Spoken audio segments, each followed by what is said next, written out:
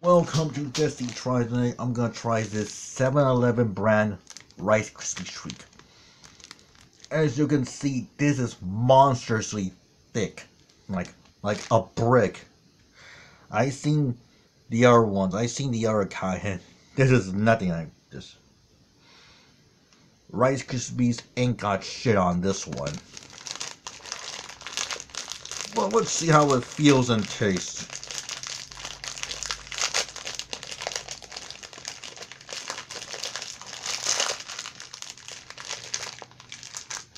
As you can see, the marshmallows are still visible, like very visible.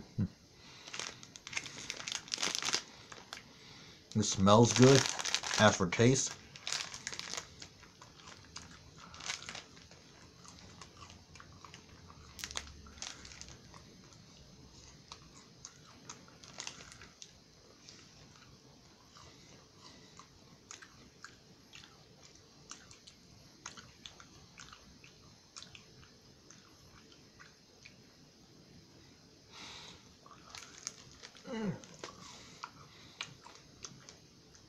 it tastes just as good as the famous Ling brand.